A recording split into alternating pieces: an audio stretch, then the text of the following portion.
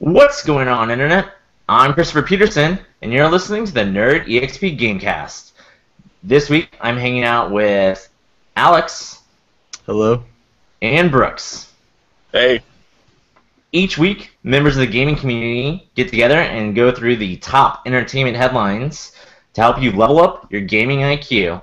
Uh, this is Alex's first time on the show, so let's give him uh, an opportunity to kind of introduce himself and talk.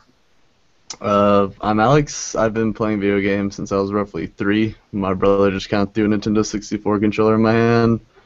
And uh, I know I want to be a writer. I know I like to be involved with video and audio recording. So just kind of moving into games press is something that interests me. I write for Gamnesia, maybe a site some of you read or not, but heavily Nintendo based, but we're definitely branching out a lot over the past few months, really. So uh, I'm glad to be here, though. Uh, thanks, Alex. Definitely glad to have you on. Uh, as always, listeners come first. Uh, so we have a listener question from Twitter. That guy in line asks, "What is your favorite video game based on a movie?" When I read this question, I physically felt ill uh, because there are so many bad movie tie-in games. Uh, but then I calmed down and I thought about it for a second, and uh, first answer that immediately jumped to mind was Spider-Man 2. That game got web swinging down and making you feel like Spider-Man and being in the city and just kind of that open world environment. Um, perfect, and probably no other Spider-Man game has been able to replicate that to that same level of uh, fidelity and greatness. Alex. Uh, it's that's like a difficult one for me, but I'm gonna still say just because I loved it as a kid, but I really want to go back and see. There was a King Kong game based off the Peter Jackson adaptation of King Kong, and it was actually like part first-person shooter than like other times he plays King Kong. I don't know if I just loved it because I was a kid and I got to play as King Kong, but I just remember that one. And I mean, that's just the one off the top of my head. I know I mentioned GoldenEye, and I still I think that's just a fun game to kind of sit down every now and then remember. The only way to play GoldenEye is on paintball mode. If you don't have that cheat code, you're not playing it right. It's like a, it's like the first Splatoon now that I think about it. Uh, what about you, Brooks? One of my favorites would be Lion, The Lion King for the Sega Genesis. It's a combination side scroller and platformer. Great music, great gameplay, a little difficult in a few spots, but ultimately fun. Something I can go right back to and play just as have as much fun as I did when I first played it. Uh, a little difficult. That game was hard as balls. I can never get past the stupid like giraffe platforming with their heads and the alligators. Can't wait to be king, huh? Okay. I make a prediction that my new favorite game based off of a movie will probably be the Mad Max game Avalanche Studios making, because I love that studio. I love Just Cause, and I just feel like they want to throw a cool vibe on that franchise. I'm really looking forward to that. I'd probably like Ratchet and Clank myself. Uh, yeah, Ratchet and Clank uh, definitely looks great. Um, and we can jump straight into that. Uh, plays jumping into the news. Uh, Ratchet and Clank, kind of a re-release, up-res. It's it's a weird concept for a game, um, but they kind of summarize it almost perfectly in the reveal trailer on the PlayStation blog. Uh, it's the this is the Ratchet and Clank game based on the Ratchet and Clank movie, which is based on the first Ratchet and Clank game from the PlayStation 2. Uh, so, uh, I, I like the Ratchet and Clank series, um, and you know this makes me excited. It looks like a Pixar film uh, as a video game. I think this is the closest thing that Sony has to that kind of recognizable franchise and, and character and world building. Um, and you know, I, it's not just an upres model. Like they are adding in um, weapons that were not in the first game and levels, and you know maybe they'll even tweak the plot and story a little bit to streamline it and not make it uh, exactly what it was beforehand. Um, it's a weird move, but I think it's a good move. What about you, Brooks? Uh, I like the idea there's going to be a lot, not of new weapons. There's supposed to be new planets to explore. The controls are supposed to be different. Additional boss fights, and uh, a sweet a sweet uh, pre-order bonus. You get the bouncer. It's a weapon that allows you to shoot off a uh, shoot off a bomb. It opens up and shoots off smaller bombs, and then you track all the enemies and just blow them to hell. It's a great weapon. Um, mentioning the pre-order bonus, um, like unrelated to Ratchet and Clank. Do you guys ever pre-order games still? Not anymore. Not anymore. Not anymore. Stopped doing it a long time ago. Yeah. Mm-mm. Why'd you stop? Assassin's Creed Unity. That's a good reason to stop. yeah, I mean, I think as a, as a culture of gaming, um, you know, and I and I've pre-ordered games before. I pre-ordered Mass Effect 3. That was the last game I pre-ordered. Um, not for any particular reason, uh, but because it was just the last game that I was like ridiculously excited for. And then I just realized that I can wait. I should wait. I should wait for reviews. I should wait to see if I'm done playing the games that I have in my library currently, and see if there is uh, something better out there, or just get that same game as cheaper when I'm in a better place too. And I don't know. I'm kind of over the feeling that you have to pre-order to be part of the game and to get that kind of day one and get the full experience. And surprisingly, like you can pretty much still get the pre-order bonus even when you buy the game sometimes. Like it's Yeah. in there. That's happened to me multiple times. All right. Um, moving on. Uh, another news: uh, Sonic is coming out with another game, Sonic Boom: Fire and Ice. Have you guys ever played any of the Sonic Boom series? No, because I've been No. told not to. I'll be honest, I didn't even know it was a Sonic Boom series out.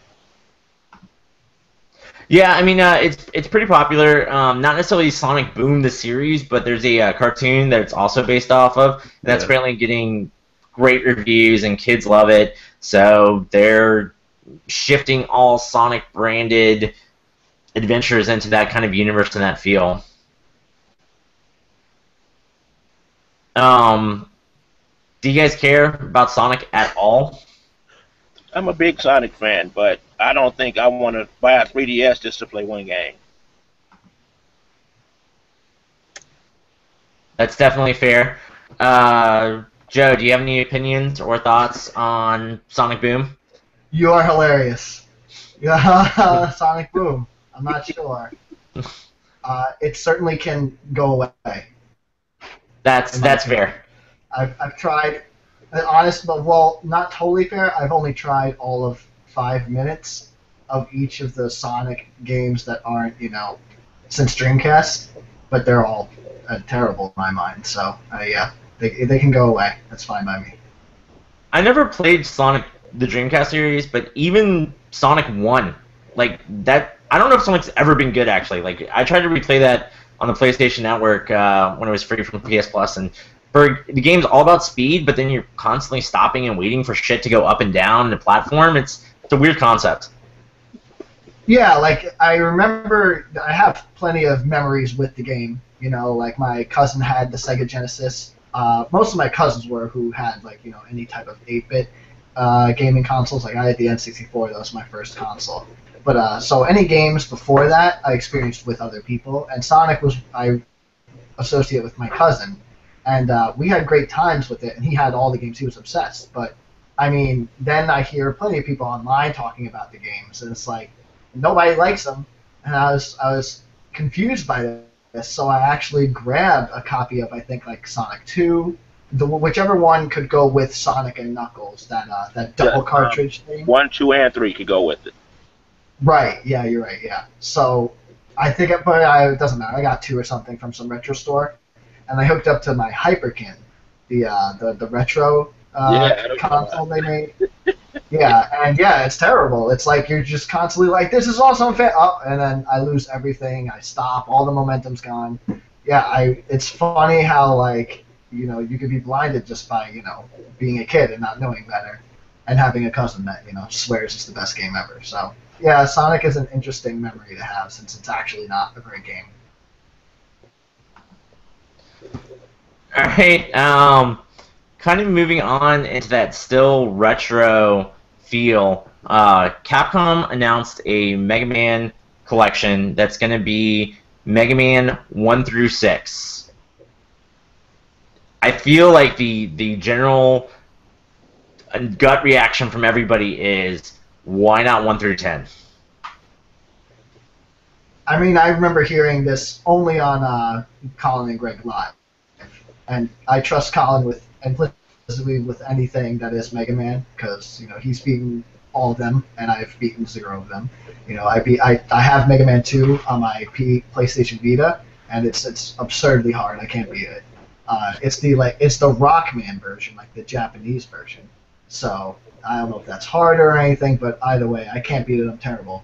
Um, Colin said, Colin Moriarty on Colin Greg Live stated that this was the right move in his opinion because those were the better games, and then uh, and, and those are actually the more uh, time-specific games, right? Like the other games, some of the later games were actually released after they had left that uh, generation or something like that. If if I'm remembering correctly, I'm not sure what the story is with those later games. Yeah, one one through six are uh, NES games, and then uh, seven is Super Nintendo, and then eight is PlayStation, and nine and ten are um, kind of the retro classics that we have.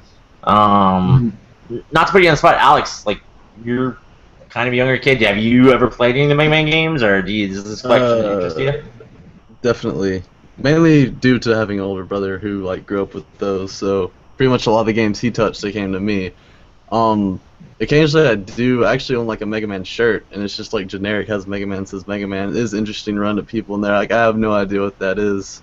then you meet still other people my age, and like I know what that is, and it's cool that you know what that is too. Um, but still, even as like this, we were discussing earlier, like if I like met somebody that never played Mega Man ever, like this might be something cool for them.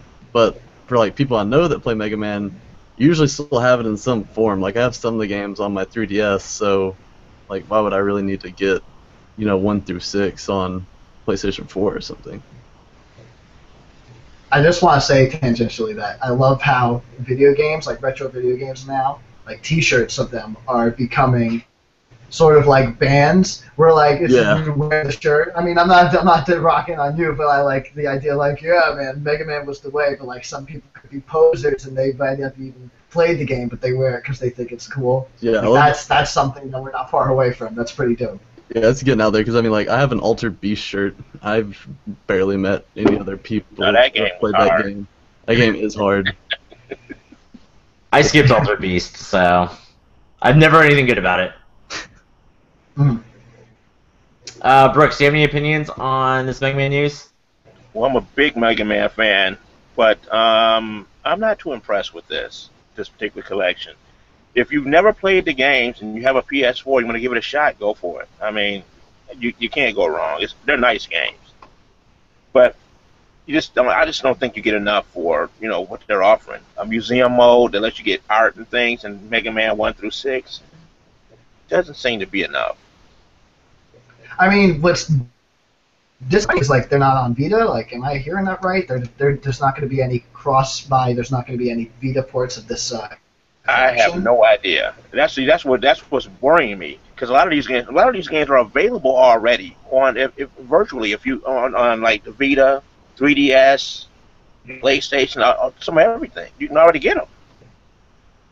Yeah, I mean, um, with, this announcement and kind of a lot of the announcements that we're going to go through, uh, and we've already mentioned, um, you know, details are scarce. Like this almost feels like a lot of teaser announcements. We are definitely in the middle of E3, um, and I know we kind of did our E3 predictions, but um, you know, a lot of people are like, "Oh man, they're getting all this news, they're getting all these announcements, they're getting all these stories out of the way." I hope they're right, but I almost feel like we're gonna see a lot of the same stuff that we're talking about today just brought back again uh, during the E3 conferences. Uh, there's something I want to add. For Mega Man 2, master the Mega Buster, master your timing, and learn the patterns of the bosses, and you'll be fine. uh, yeah, I mean, uh, the only one of the, like, one of those games I feel is almost impossible to beat is Mega Man 1. Like, I, I never could beat that game. That game is almost punishingly hard. It is the definition of NES like hard. You you can't sit there and eventually get it. Like you either have the skills or you don't to be able oh, to beat yeah, the game. expected to die quite a few times so you get the, the timing down because that collision is terrible. You get wasted very quickly. the only thing I can say about the collection is like I, I would have been excited if it was coming to Vita. You know, honestly, retro games it's harder for me to just sit down and, and actually commit time to them when all these other, you know, uh, new indies or like AAA titles are coming out. I would love to play it on my Vita though. You know, and yeah, there most of these games are available on the Vita, but like I said, the only uh, version of Mega Man 2 available to download on the Vita is like the PlayStation One like port, and it's really old looking. You have to stretch out the screen in order for it to to go full screen. And it's the Japanese version. I don't know what the hell anything's saying. You know, it's like it's he's Rockman, not Mega Man. I'm like, what's happening? So you know, I would have loved to see, you know, the the collection come to the Vita for one you know bundled price. But uh, I guess I'm probably just gonna skip out on this one. All right. Um, yeah, I mean, you know, with, with that, uh, you don't need to see the language. It's Mega Man. It barely matters. Right. Yeah. Um, moving on, uh, just another uh, news announcement. Uh, Tales of Berseria uh, announced for PlayStation 3 and 4. Um, this is the next game in the Tales series. Tales of uh, Zestiria hasn't even really hit the US yet. Um, so, I mean, they're just cranking these out. I know some people really love these games and they resonate with. Um, I've only really seen uh, Tales of Xillia played um, before, and you know it sure is a Japanese RPG game. But I think uh, I think this is good. I think this is one genre that the PlayStation 4, Xbox One, you know, this is an Xbox One game, but the PlayStation 4 kind of console cycle is really missing out on. Have you? I've never really played any I've, games. I've yeah, I've never played any of the Tales games. I think Brooks has. We've mentioned these I before. have. We like American games. I know after your Rockman rant. Yeah, man. Don't give me symbols. I want American letters. You know what I mean? Uh, no, not American whatsoever. Um, Hyrule Warriors Yes. is coming to 3DS. Best announcement. Uh, so uh, I mean, Alex, uh, are you familiar? Like, have you played Hyrule Warriors for Wii? Yeah, I, I I played. I mean, it came out like dead middle of college, and just like me and all my friends, we just played the shit out of that. We're all massive Zelda fans. I had never played a Dynasty Warriors game, barely, but so I was interested in this mainly just because of the Zelda aspect, and I adored it. I thought it was an interesting take on like the entire franchise, and just the soundtracks booming the entire time, and just to have Link wipe out like 90 enemies in one move is like one of the most satisfying feelings ever. Have you ever played a Dynasty Warriors game?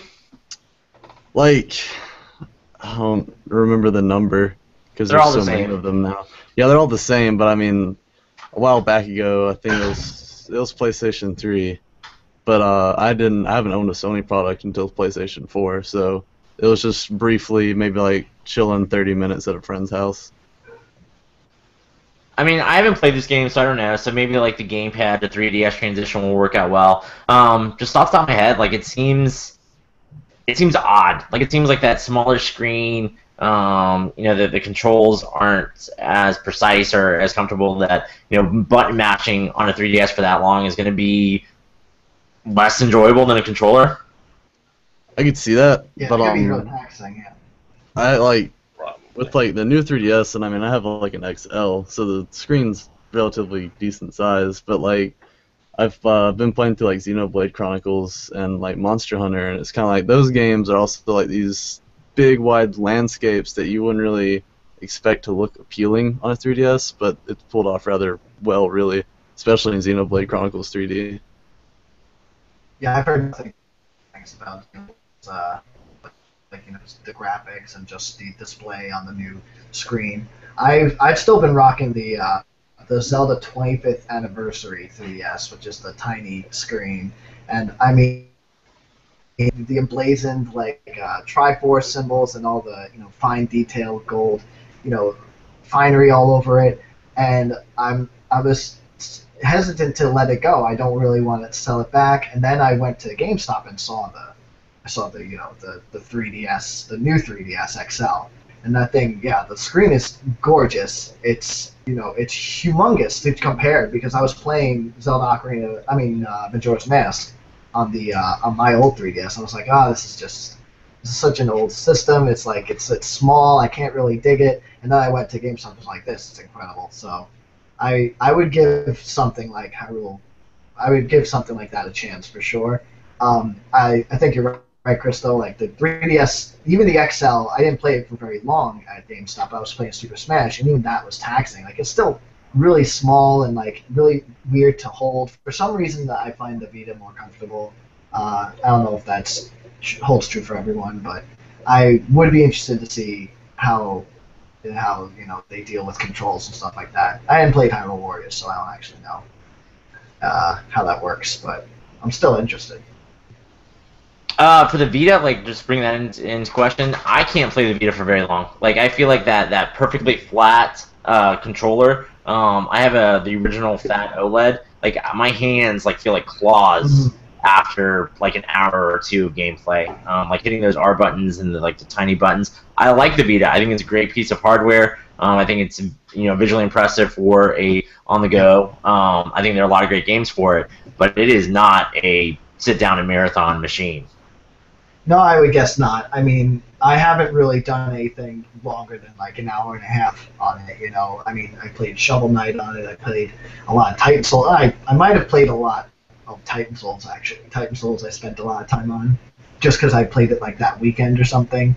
Um, but I have the Slim, and that's definitely more comfortable than the OLED. Just like literally those those pads on the back make all the difference. Just having that much more grip room, I feel.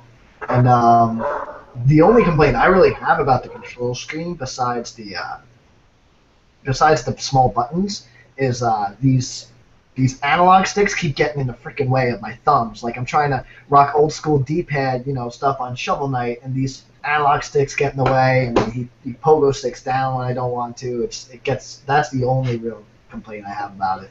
I mean, but I love my Vita. It has like every game that I want to play on it. It's my it's my favorite console right now.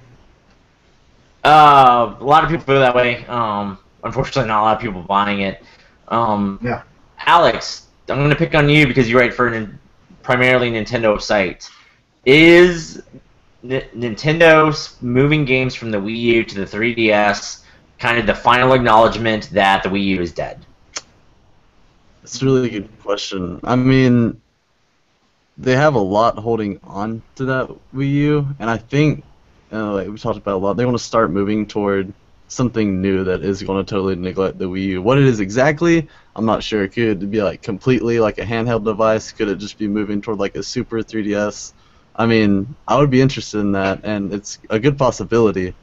But I mean, right now, I mean, we still have like there's still a Zelda game that's going to come out on Wii U. There's still a supposed Star Fox game that's going to come out on Wii U. Devil's Third, and I'm still praying that we get Xenoblade Chronicles X, which is supposed to be Wii U. And I mean, they're at least going to still push it for a bit longer until they finally just neglect it completely.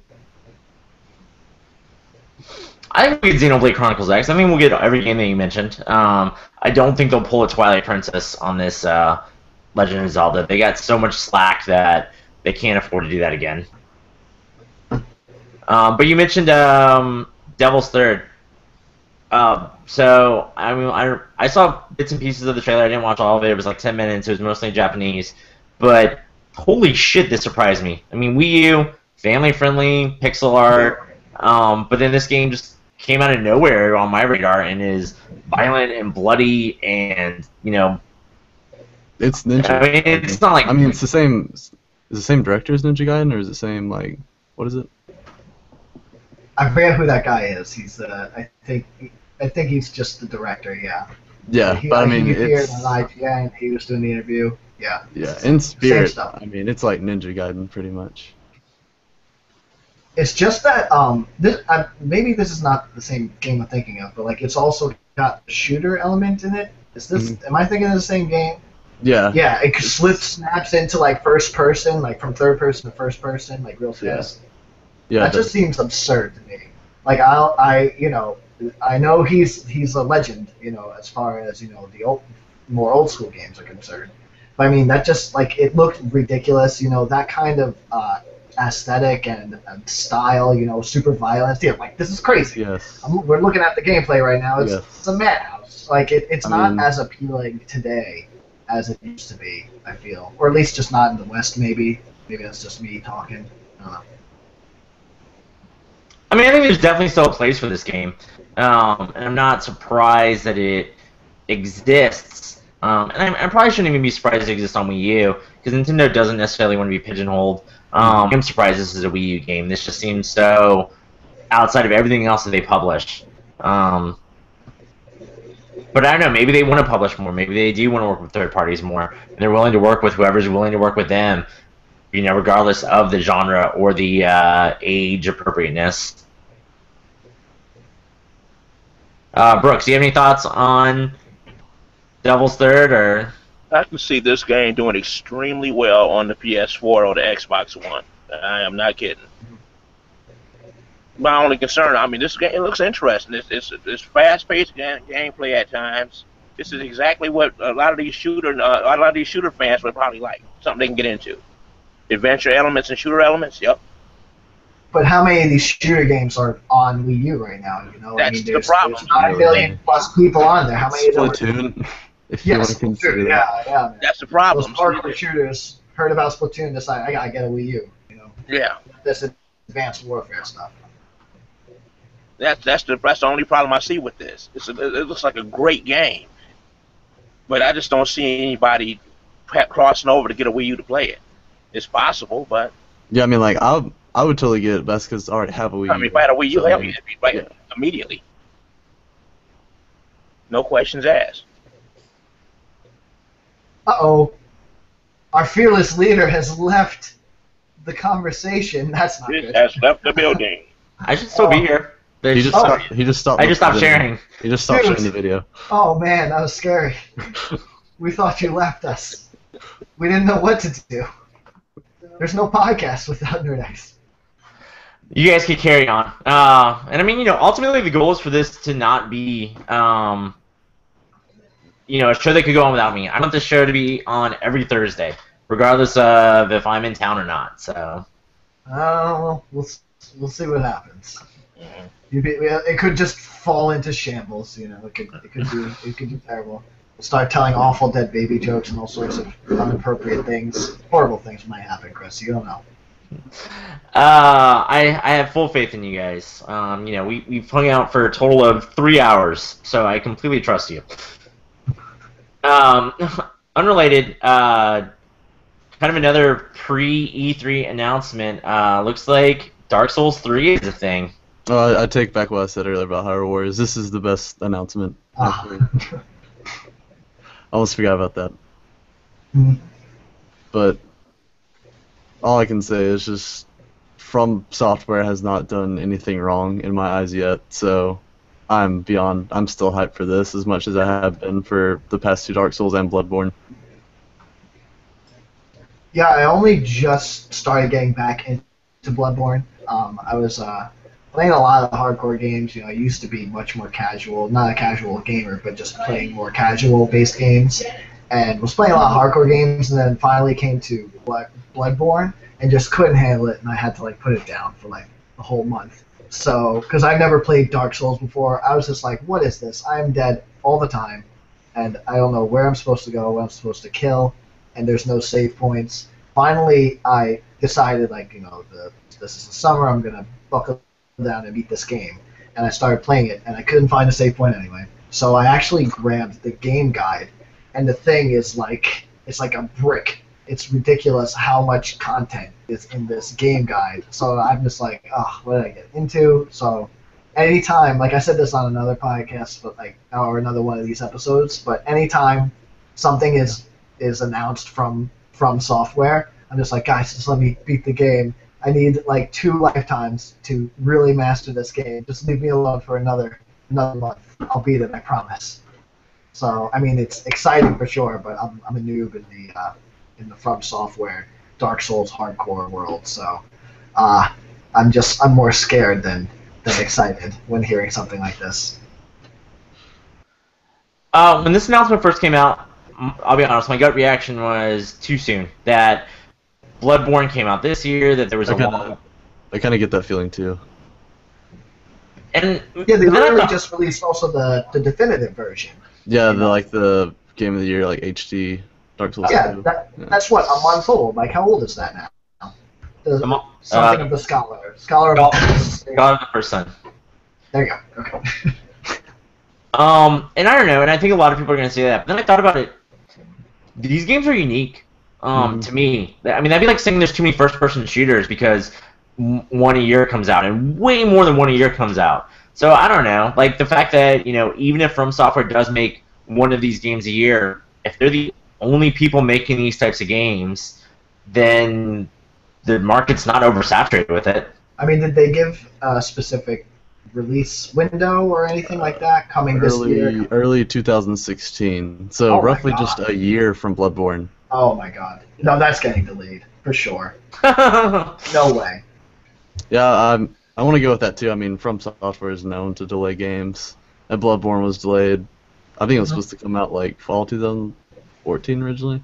Yeah. I mean, they're they're just known for delaying, so I'm pretty sure it'll be delayed too. Yeah, for sure. Yeah, I mean, I think uh, you know, as we get into the E3 season, all this news that we're saying today, that we'll say next week, it's all going to be delayed. Like we are looking at the best games of 2017, Yeah. um, and No, some I- 2018 games. a lot of the press, you know, game press talks about very positively about delays. You know, obviously they want everyone to take their time. But I mean, you know, now I think the messaging also is getting out there from the press or from the community like us. You know, they're like, okay, get, delays are fine, but start, you know, controlling what you're what you're trying to convey to your consumers. You know, start like waiting off and taking your time. You know, this is this is probably uh, this is either way too soon for Dark Souls to come out, or way too soon to be announcing it because it's not coming out early 2016 or even fall maybe. I don't know.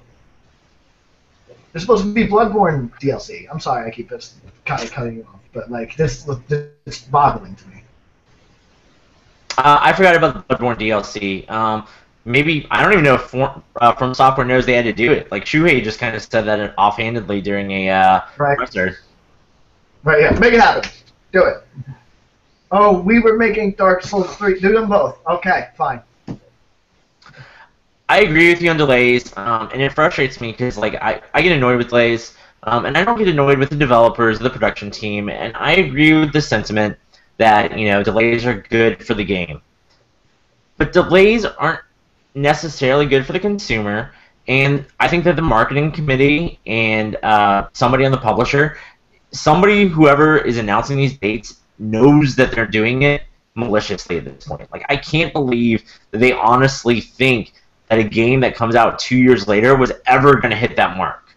I mean, some either somebody in the company is lying to somebody else, or somebody in the company is lying to consumers. Um, I don't care if a game takes four years to make. Just be honest about it. Don't keep pushing Or it back and around. Anything, you know, don't say anything for four years. You know, if if we if I'm to believe that Fallout comes out this year, and I do genuinely believe that, you know, Bethesda the last game they brought out, you know, that from Bethesda Game Studios, you know, for, uh, Skyrim, they announced it and released it the same year.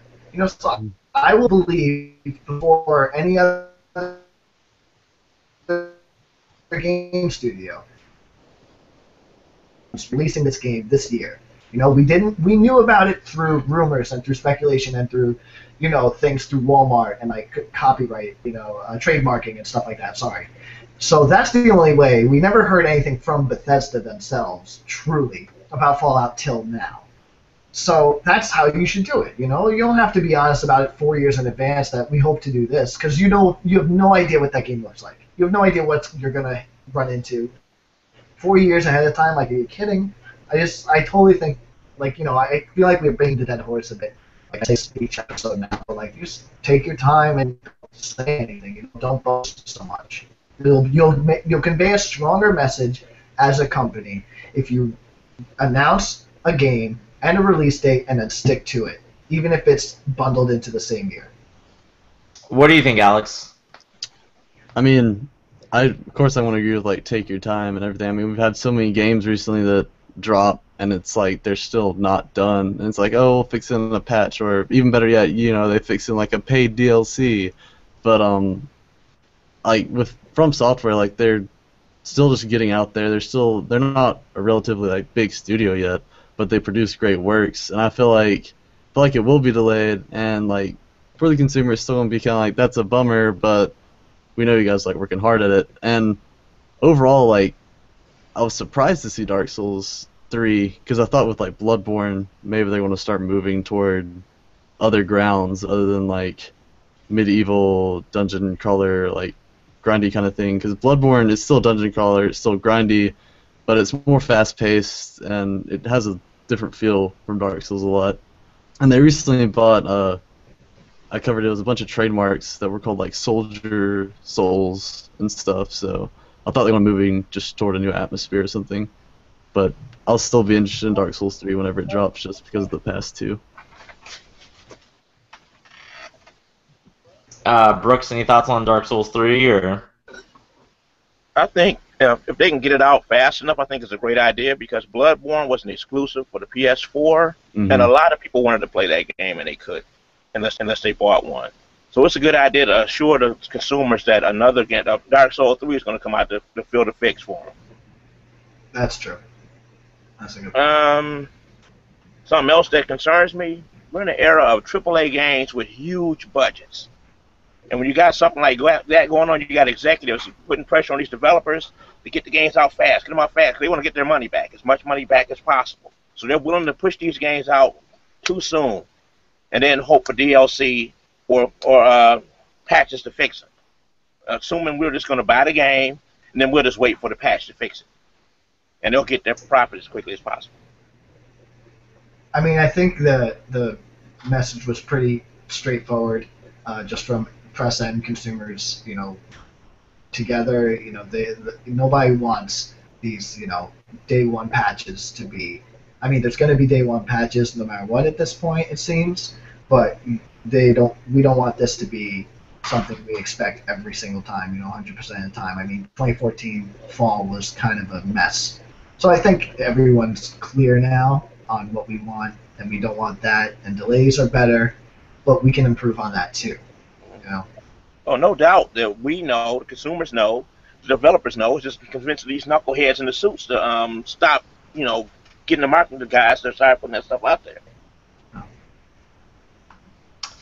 Uh, definitely agree. Um, speaking of broken games, uh, Drive Club poster child for broken game uh, of last year uh, comes out. Uh, this just in. This wasn't on our agenda. Um, that they feel like the PlayStation Plus, which was announced, I believe, when the PlayStation was announced in February of 2013. If not then, at least E3 was announced. Um, no, it was announced. Sorry, sorry, I'm backtracking. It was announced in February because it was supposed to be a launch title. Mhm. That took an extra year. Finally, the PS Plus edition will come out. yeah, I, I feel like they just wish they could just pretend this game never existed. But if they promised it, they have to come through, I guess. But this is crazy. Oh yeah, they have to come out with this. Um, they promised. They said it would be PS Plus. Um, I mean, they made a vow to the consumers. This game needs to come out uh, for them to save any face whatsoever, even if it's uh, like two years later. I mean, it's still better than never. Um, I have PS Plus. I'm a huge PlayStation proponent. I had no interest to play this game. I have even negative interest to play this game now. Um, but for people who are, I, I'm glad it's coming out. Um, all right, moving on. Um, I guess our main topic, uh, unless there's anything else you guys wanted to cover, is uh, kind of it's kind of being billed as an E3 press conference, which flew under my radar until I saw it uh, on the books today. Um, Oculus Rift came out with a, a slew of announcements. Um, maybe we'll just go through them one by one, or um, if there's one that you guys want to jump in, we'll jump around. Um, but the one that stuck out to me the most was a partnership with Microsoft. Um, yeah, I, great. Coming to Xbox, baby. Want to know, baby. uh, if you didn't listen, if you didn't listen to last week's episode, uh, Joe predicted Microsoft and Hololens uh, would sorry, Microsoft and HoloLens. Oculus you Rift. predicted HoloLens. You were like, nah. I know. Joe. They got the HoloLens. You just you just stop but I, but I was a believer, man. No, no. Okay, sorry. No, no, no. I mean, you definitely gloat. You you got one right. Um, it's gonna be the only one you got right, so you should be proud of it. Oh, well, yeah. The other predictions were Phil Spencer makes a, a penis joke or something like that, and uh, and Steam goes to Xbox because I didn't know we were gonna have three predictions, so I was just making up absurdities. And but I mean, the penis joke might happen. I don't know. I don't know how how racy Phil Spencer is ready to, to go, but I mean, but I'm one to know, baby. I'm I'm gonna sit on.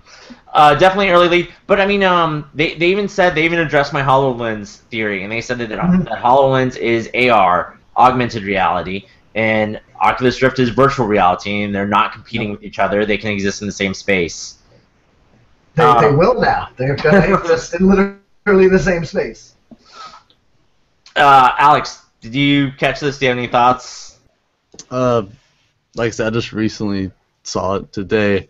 Um, I've never really like looked into Oculus Rift all that much. Like I still think it's um, I won't use the term far fetched because we clearly have it, but like I just don't see it being like a plausible thing coming to like everybody's like living room in the next at least mm-hmm. five years or so. I mean, I haven't personally like used it or anything. I know a lot of people have, and people think it's like really awesome, but I just kind of veer away from it because it's just kind of like you know I'm not going to have this. I'm not going to be sitting down playing like all my games with this within the next five or six years or so. Like, but I feel like Microsoft they might be able to help kind of push that even more. That's like with Microsoft, I think it can be five to six years that we'll see more like Oculus Rift around us. My um, main thing with Oculus Rift is it's a peripheral, and no matter how good a peripheral it is, it's still an add-on, and we've never seen an add-on succeed, in my opinion. So maybe this can break the mold, um, but I just don't see it clicking with mainstream. I mean, when you tell somebody that an Oculus Rift requires an Xbox One, Yeah. which is another 350, or it requires a state-of-the-art PC, which is like a thousand dollars. Like that's just a huge investment for anybody to break into. And like I always feel like this I I guess I kind of feel like this to Oculus Rift 2 is like all these add-ons they're always so gimmicky. Like just motion gaming it's just so much of like a shtick and it's some it died relatively fast for like how big it was hyped up.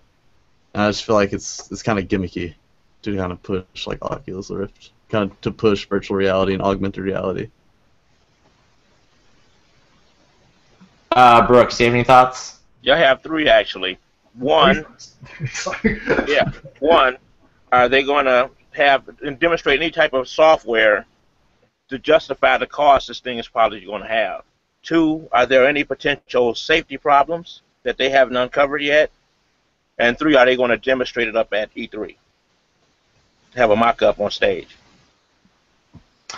I, I imagine they'll have a mock-up. I they'll have booths. I think we'll see a lot of press playing this at E3. Um, safety concerns. It's a great question. I mean, your mom always said you go blind if you sat too close to the television. This is strapping a television right to your face. Exactly. So Yeah, that's one of the biggest things. Is like it, the, just the idea of implementing VR to just people in general, to humans. Is like you know what's is this, how's this going to affect everyone? You know, this hasn't really reached the masses, nor may it ever. You know, considering what Alex said. Um, but like this is this is still something we don't know much about. You know, the uh, the long term repercussions of something like this, um, whether it be you know health uh, health concerns or even just morality concerns. You know, these types of things are cannot be known really until we go all in and actually, you know, uh, or just you know everyone buys one.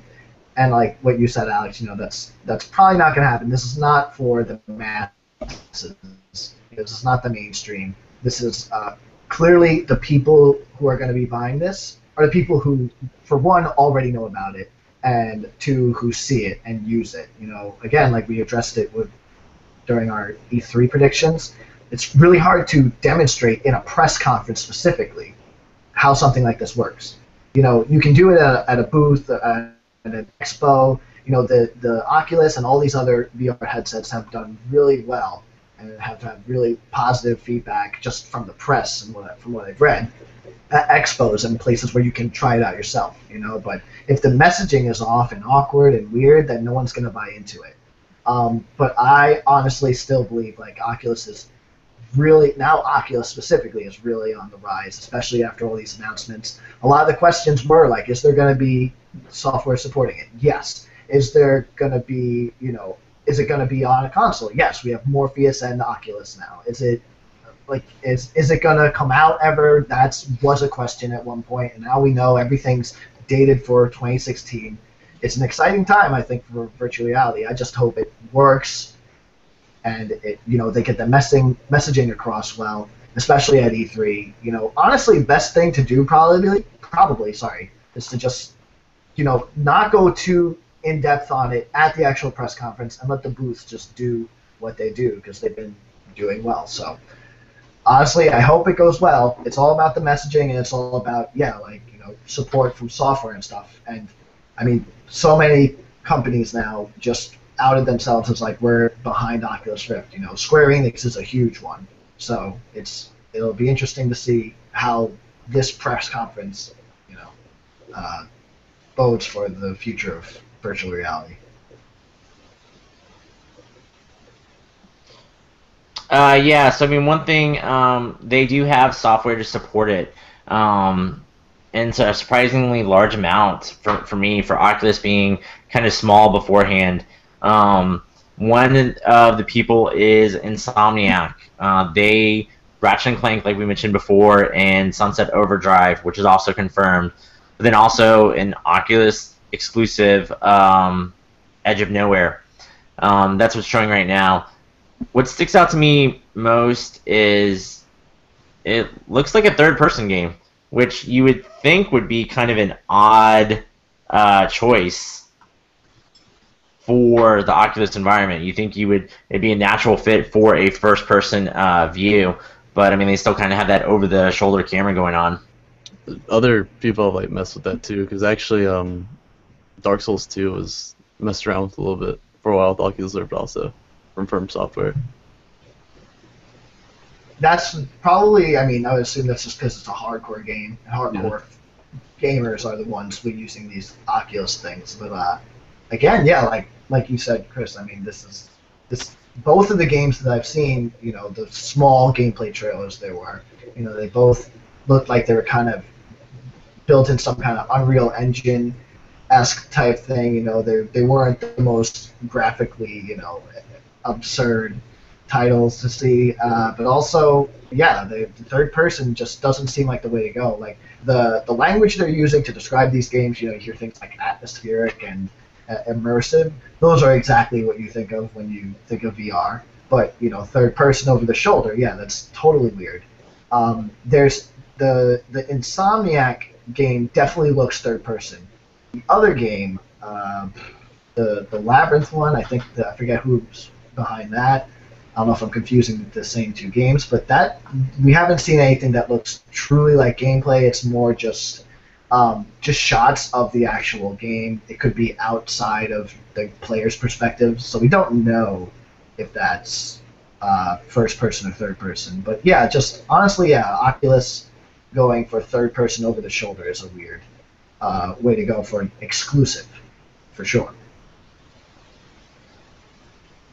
Uh, yeah, and one other thing uh, I want to call out um, is the fact that part of the Microsoft sponsorship each Oculus is going to come with a wireless Xbox controller, which is kind of the, the staple controller um, right now, which doesn't mean a lot, but it does it does give me hope that Oculus will have hardcore game experiences, controller in hand, and then this is just there to kind of emphasize the visuals, much like headphones are there for sound.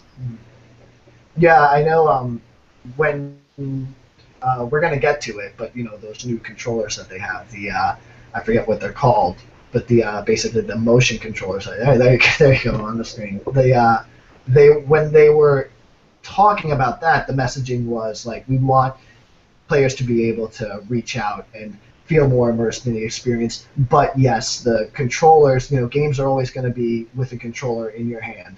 So I think that they'll still, for sure, be sticking to you know their controllers and, and to the Xbox controller and just the like, because you know they these guys are gamers. They know what works for games, and it's and it's pretty clear that that's that they have every intention of you know using this as, for certain game experiences, but not try to uh, not try to move away from con- console controllers. Brooks, what are, what's your opinion on these uh, controllers? Uh, wow. That's unusual. I'm just hoping that they'll work for, uh, they'll have games, not just like you know what we have, what we can get on the console. I mean something that's specifically made for a virtual experience, and how these controls will work on them. They're not interested in uh, you know like over the shoulder uh, shooters, anything. I mean, an actual, an actual virtual reality game that you can actually get into. That, it's like it's like a first person, not a first person, like a first person exploration game or something like that. That actually has your your point of view as you go through the game. Chris, do you want to give us some uh, context on the controls? Like I forgot what they were called, uh, just so. Uh, you know, yeah. yeah, they are called the um, Oculus Motion Controls uh, Touch Controller, um, and their main. Uh, their their main um, like you kind of saw they had the uh, the grip and the straps, and they are supposed to be able to see how your hands operate if you point at something where they are in space in relationship to your own body. Um, so one of the things that a lot of uh, people who have purchased a dev kit have said in the past is that you start playing Oculus Rift, and it's really disconcerting to look down at your hands and you see hands there and then you move your hands in the real world in front of your face, but then your character doesn't move. Right. These controllers, in theory, are going to fix that. Um, so that way that you would be able to have some more motion and, and fluidity to it. Um, they showed the controllers, but they didn't show the controllers in tandem within the gameplay or anything. So it's still, to me right now, I, it's the same as the Kinect demo um, which was, you know, if you remember that first trailer with a kid holding up his skateboard to a camera and friends talking to each other like in a holodeck, like it until we actually see. That was the most amazing thing ever, yeah. I mean, that Kinect would do great. I mean, if that's what it was, like yeah. everybody would. Connect. uh, so I mean, we're still far off. Um, so I think that the controllers, to Brooks' point, I think that the controllers actually are important um, to creating a unique VR experience which I think is going to be the most difficult part for the Oculus Rift and all of them, uh, all the VR headsets, is market segmentation. Who is this for? Is this a peripheral for gamers to visually enjoy the games that they've already played and now, or is this a new experience? And I don't know the answer for what the market wants at this time. Alex, any thoughts? I mean, yep. I I can't. I think I've already said like everything I can really say about Oculus, and I mean, the controllers. I don't know. I really don't know what to say. I mean, I pretty much said everything I want to say. I mean, if Oculus itself isn't gonna, you know, speak to you, then yeah. obviously the controllers is even worse. Like honestly, like I'm so pumped for Oculus. You know, I want it to be as good as I, I imagine it in my mind to be you know, I've never actually used it. So I, I keep talking all this positive, you know, uh, talk about the Oculus and VR in general, but I do want to say I haven't tried any of it. But I'm just, I hope it's good. But even me, who's, you know, really hopeful for the future of VR, uh, I see these controls, I'm like, God, I'm so done on motion controls. It hasn't worked yet. Yeah. You know, it's not, it's not for me. Um, but I mean, yeah, like if again, just like anything else, if they implement it well and if it's built from the ground up, which it clearly seems to be, um, but at the same time pays respect to what makes a video game click and work, and then it'll work. I mean, as far as I could conceptualize, this looks like the best of both worlds. You know, keeping to what game, what makes controlling games good, as well as you know getting into motion controls. I don't know. I'm I'm honestly sick of motion controls. I could I if if I were playing Oculus, I don't know if I need that. Honestly, like the best places for Oculus is probably you know piloting type things like driving games or or like Eve or whatever that uh, space combat game is. Because that makes sense for your hands to be just on some control panel or you know a controller, whereas you know something like what you're suggesting, Chris, which is you know we don't know, like maybe more atmospheric experiences rather than video games. Uh, that may not work as well with a controller. It wouldn't work as well with a controller or keyboard and mouse. So I don't know. You know, it's it, we are really. It's very interesting the time we're in. We are really now finally, truly questioning what is a video game anymore. You know, uh, it's it's definitely something. Just that by itself is what interests me in Oculus Rift. Besides just wanting to roam GTA uh, with uh, you know Oculus goggles on.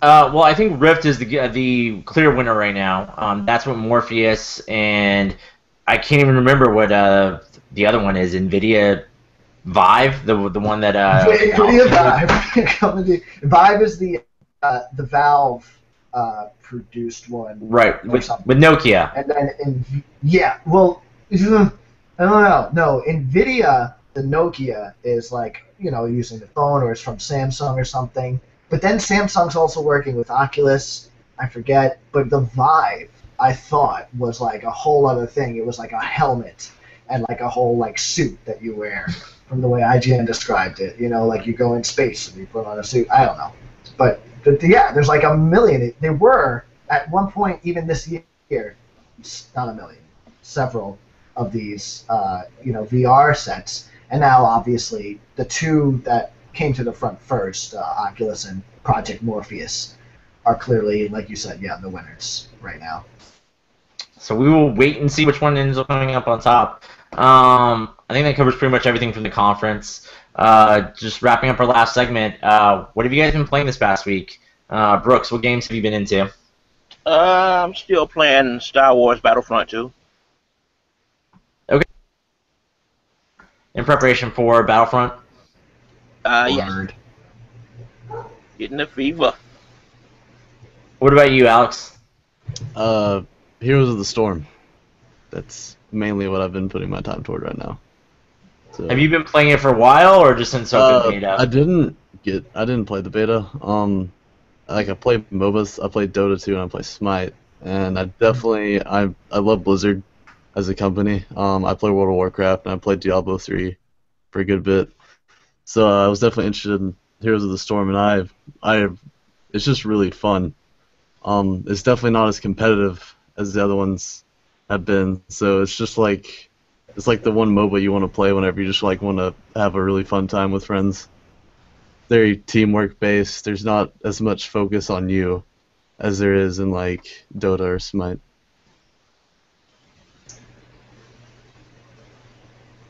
Uh, thanks for touching on that. I was going to ask how the communities uh, differ from each other. Um, so do you have a dedicated team of people to play Heroes of the Storm with, or are you're not playing with a bunch of randos? Uh, I play with a mixture of um, the people with the guild I'm in on WoW, and then my other friends that I play like Dota and Smite with. I kind of have like the same people I play MOBAs with, just because we kind of once we played like one MOBA together, you kind of know like like me, it's like oh Alex is gonna play kind of like the tanky guy, and he can take damage while we like run around and kind of like kill everybody around him. So you kind of know how to read each other. So I guess you kind of say there's a dedicated team, but just kind of a mixture. Okay, fair enough. Uh, what have you been playing, Jeff? Um, I swear I'm gonna play Bloodborne. I swear I am. But uh, I, before that, I actually grabbed uh, from a humble bundle uh, Braid, which I had never actually played. I played a lot of the real popular, you know, indies from that time, like Limbo and Super Meat Boy and all that stuff. Never played Braid, and I literally just finished it today, and I was contemplating that because that that was kind of trippy. Uh, that's a really excellent game. Um, I'm not sure I totally understand it yet. I'm definitely going to try and play it again and figure out what the hell the game is about. But uh, on my off time, just like you know, in between you know commutes or whatever, I'm actually playing a lot of Hearthstone on my phone, and uh, that's got me hardcore addicted. So yeah. All right, uh, thanks for sharing. I've been playing nothing. Um, I've been writing and setting up interviews and uh, preparing for E3 coverage. So I, quite frankly, haven't had time to play anything this past week. Um, Sounds like a true gaming journalist, not playing games at all. Uh, so I think the next really kind of big game that I'm looking forward to is Batman Arkham. Uh, I'll, I'll think I'll pick that up and I'll make the time to make sure I play that game. All right. Um, well, if you're out there still listening, thank you. Um, I hope that you enjoyed this week's episode, uh, especially as you stuck around. Um, if you want to hear more from us, um, I'm Chris Peterson. Uh, you can follow me on Twitter at NerdEXP. Uh, I have a blog uh, that I post interviews and thoughts on gaming, movies, and comics at nerdexp.com. And I also do another podcast on Tuesdays about movies and television, uh, the Nerd EXP Cinecast. Um, I want to thank uh, Alex for coming on for his first time. Um, Alex, where can people find more of your work at? Uh, they can find me at Gamnesia, and uh, you can find me on Twitter at artisticishalex. I post all articles I write there, and you can find me ranting and raving about anything from video games to comics to movies to anime. So. All right. Uh, what uh, what's your favorite anime that you're watching right now? I just finished the first part of Magi, which is the Labyrinth of Magic, and uh, I'll probably start on the second part, but I'm still trying to find a way to get to season two of Psycho Pass because I adored that series. Yeah, that's a good series. Um, I I don't think it's on any of the legal streaming Yeah, it's right not. now. It's not. You know, I, I tried to start getting into Fate Stay Nights by you know other methods, but um, I kind of like faltered out, and I'm like, I'm just gonna wait until I can you know get it all through at once. I don't like Fate Stay Night. I watched the. Oh. Uh, Yeah, because like I watched Fate Zero and I adored Fate Zero. I thought it was amazing. Um, I thought it was moving at times. Just it's incredibly well done. And Fate Stay Night was um, totally different atmosphere. It's way more lighthearted. It's uh, not as serious, and it just kind of took me off at first. But I, I still want to kind of give it another try because I think the universe is interesting. I like the setup of the universe. Oh, the universe of the. I thought you just meant the universe in general. I'm like, no, yeah. no, no, I meant, I meant like the, Yeah, the, the world, the world the series creates. yeah, yeah, yeah, no, yeah, yeah, I got you. all right. Uh, thank you, Alex. Uh, what about you, Joe? Uh, oh, you can find me at uh, Joey Dagobonuts on Twitter, and you can find me at my IGN uh, under Joey Dagobonuts. And uh, I'm currently working on a real hardcore project for my IGN, uh, which is partially why I was playing Braid as like a research thing. So please, if anyone's listening, uh, I normally don't panhandle myself too hardcore, but please check check my blog out if you're listening recently. So my IGN, Joey Dagobonuts. All right. Uh, and what about you, Brooks? You can follow me on Twitter at NavyMVG, or you can read my blogs or check me out in my IGN at Military Veteran Gamer. All right. Uh, well, thank you, Brooks. Thank you, Alex, and thank you, Joe. I definitely appreciate you guys. Um, and thank you out there for listening. Uh, I hoped that you enjoyed this week's episode and that we were able to help you with your gaming IQ. Level up, friends.